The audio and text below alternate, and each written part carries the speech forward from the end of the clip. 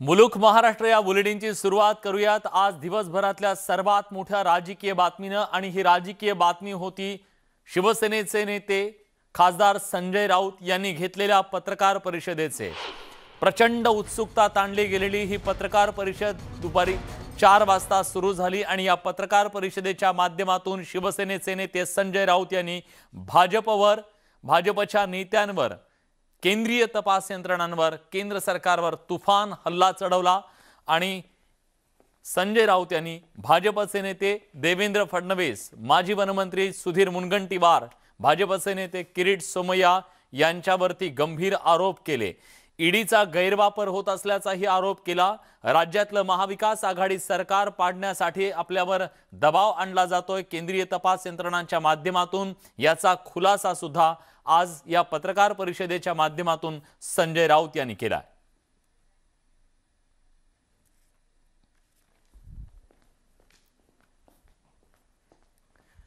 संजय राऊत यांनी सांगितलेलं होतं की पत्रकार परिषदेच्या माध्यमातून त्या साडेतीन नेत्यांच्याबद्दल मी खुलासा करेन. पण आज या पत्रकार परिषदेच्या माध्यमातून ते साडेतीन नेते कोण त्याचा काय खुलासा त्यांनी केलाय आपण एक नजर टाकूयात. ग्राफिक्सच्या माध्यमातून आपण बघतोय हे साडेतीन नेते कोण देवेंद्र फडणवीस यांच्यावर त्यांनी पंचवीस हजार कोटींच्या घोटाळ्याचा आरोप केला.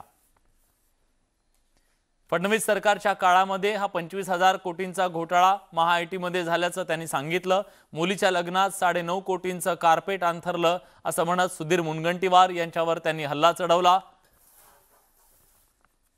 तर भाजपचे नेते किरीट सोमय्या हे पीएमसी बँकेतल्या आरोपींशी आर्थिक संबंध आहेत त्यांचे असाही आरोप आज या पत्रकार परिषदेच्या माध्यमातून संजय राऊत यांनी भाजपच्या नेत्यांवर केला.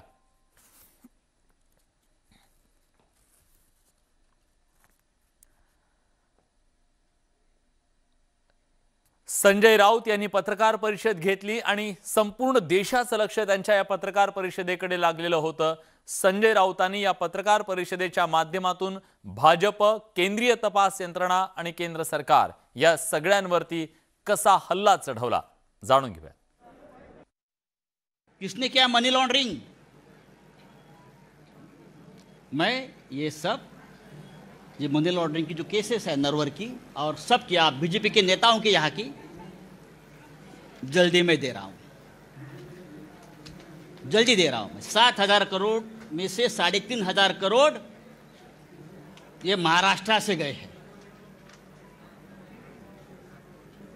साढ़े तीन हज़ार करोड़ की प्रॉपर्टी महाराष्ट्र में जो उनको प्रोजेक्ट मिले, महाराष्ट्र से जो करप्शन हुआ है, पहले वाली सरकार में, वहाँ से गई है। देवेंद्र फडणवीस जी का और एक फ्रंटमैन है, जिसका नाम मोहित कंबोज। मोहित कंबोज। फडणवीस साहब का आजकल वो बहुत ब्लू हेड बॉय है, ऐसा मुझे कहा, मैं तो पहचानता नहीं। वो फडणवीस साहब को डुबाने वाला है। ये जो मैं देख रहा हूँ,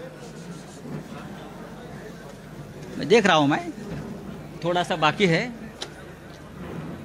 ये जो पत्राचाल वाला इशू निकाला है ना ये पत्राचाल की जमीन खरीदने वाला है मोहर- मोहित कंबोज है।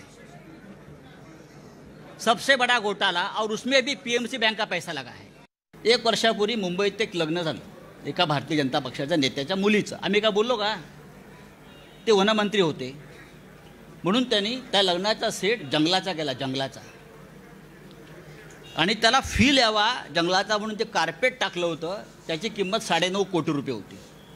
ईडीला काय दिसलं नाही का हे? आम्ही म्हणतो घरातलं लग्न आहे. घरात शिरायचं नाही. पण आमच्या घरात तुम्ही शिरता अशा पद्धतीने. म्हणजे ही काय पद्धत काय?